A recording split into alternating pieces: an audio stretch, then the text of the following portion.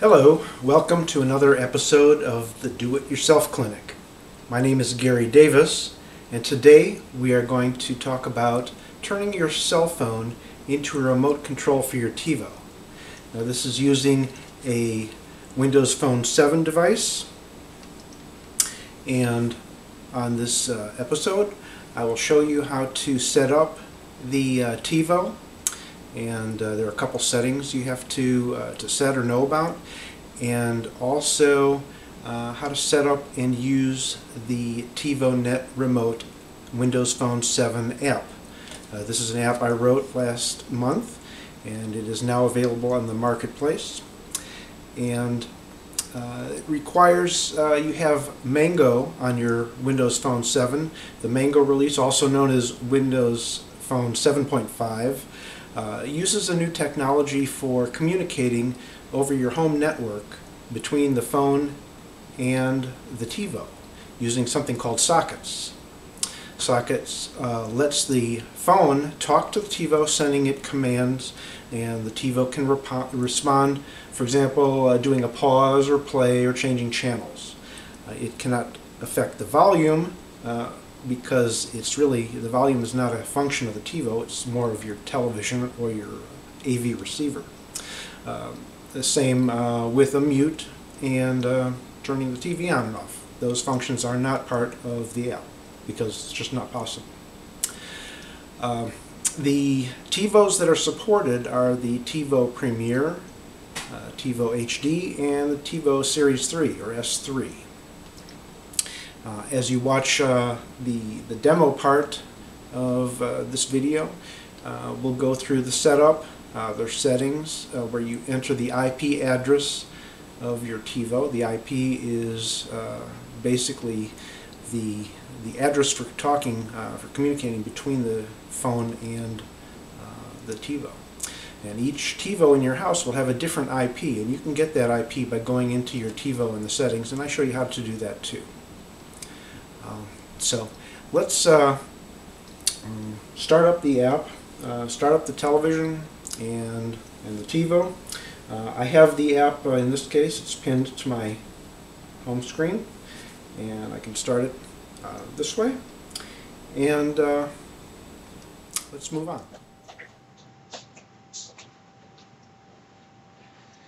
The first thing to do in getting the TiVo Net remote set up is to enable network remote control on your TiVo and also find the IP address of your TiVo on your home network. So let's go into the TiVo settings. And first let's find the um, IP address. Go into settings. Network and phone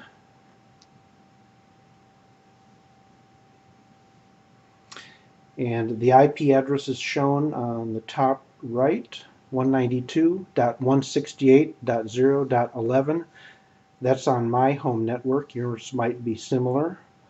Uh, most likely a 192.168 followed by 0 or 1 usually followed by the uh, final uh, digits. Write that down Next, we go into remote cable card and devices and the network remote control and make sure the checkbox is on that says allow network-based remote controls. Now, this is in the TiVo Premiere. Uh, it's also a setting you'll find in the TiVo HD and S3. So we're okay at this point. Back out of that to your TV.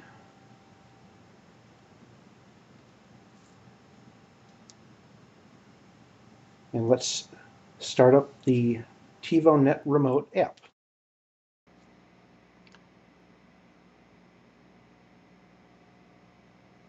First, we'll start with clicking the Settings button The first field is the name of your TiVo. You can have multiple TiVos. so you can identify them by name.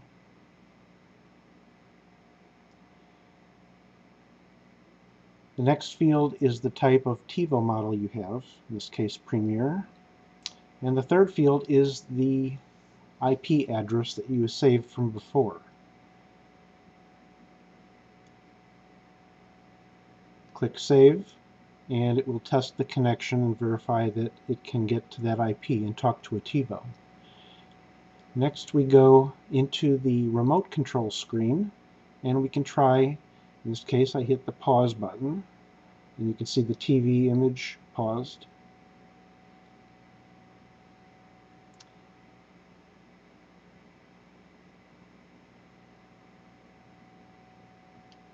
And try out some assorted buttons. Fast forward, skip, play,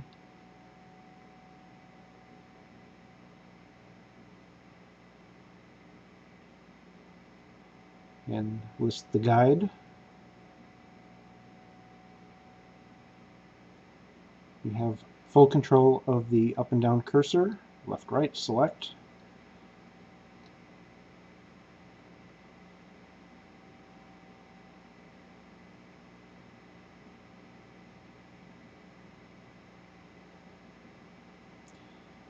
Scroll over to the numbers and on this screen you can enter digits, in this case channel number 399.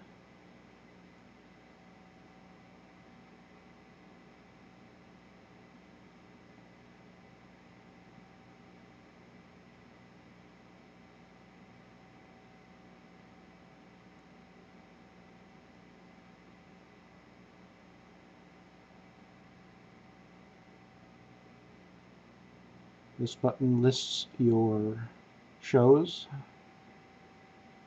that you've recorded, so you can select to play.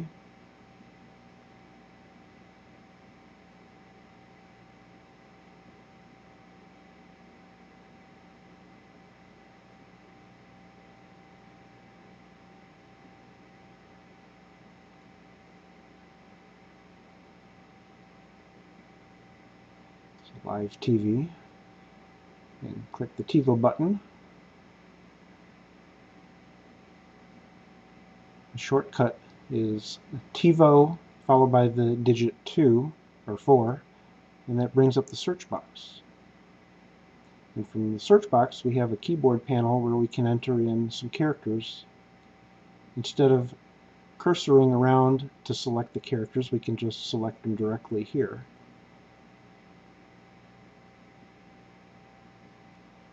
Use this for your wish lists too and some other uh, functions.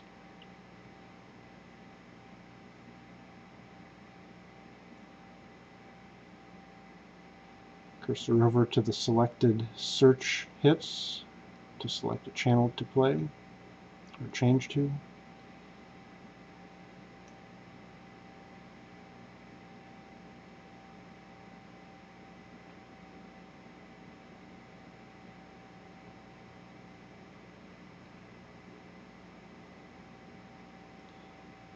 Uh, now we're back to the settings and you can add another TiVo this way. So let's say I have a TiVo in my master bedroom.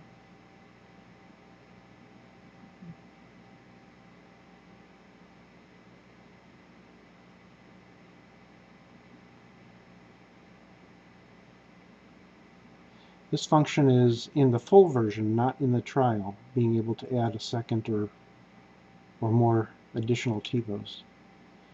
This TiVo is a TiVo HD and a different IP address. I save it. I also changed the background. I removed the background color with that checkbox. The console lets you see the commands that are sent to the TiVo and the responses that come back from the TiVo.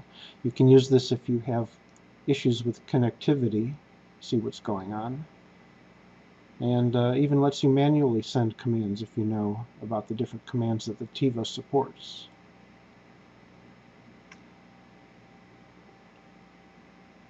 On the top you can see that it's showing the selected TiVo MBR master bedroom and I can switch to the den And now it'll be controlling the den TiVo.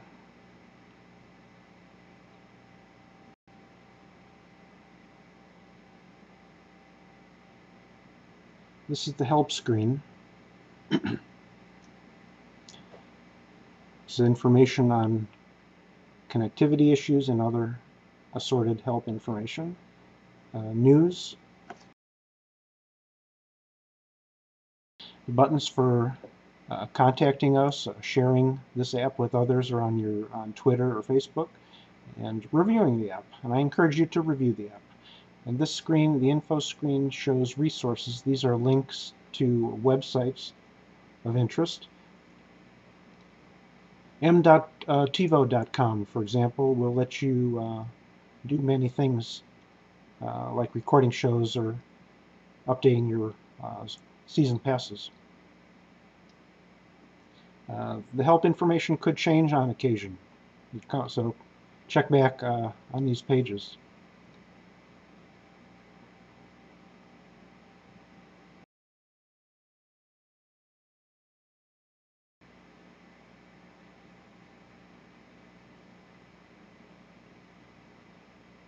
Control the uh, master bedroom TiVo and then switch to the den.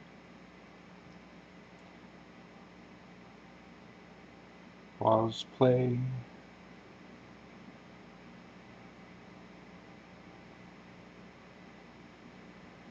I can add a third TiVo.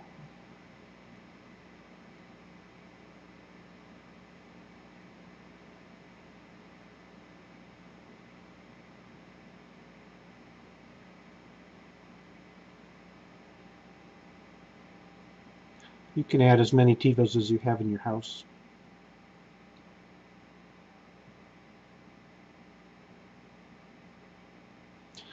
Since this is controlling your TiVo through the uh, uh, network and not infrared, you can actually control your TiVo from other rooms in the house or even uh, from uh, the internet if you're at work and you want to control your TiVo at home if you have your router set up to forward the port and the IP address to the correct TiVo, that will work. In this case, I added uh, a TiVo with an invalid IP address. so it's not going to be able to find any device at that IP. And in this case, it times out and shows the error message.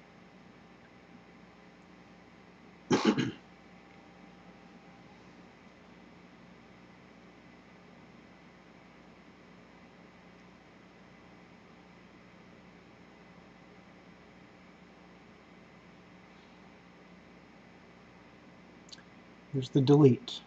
Deleting the TiVo just disappears.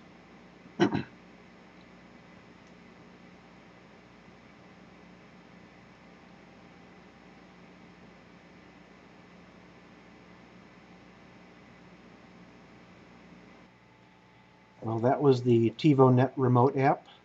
I hope you install it, enjoy it, and have fun.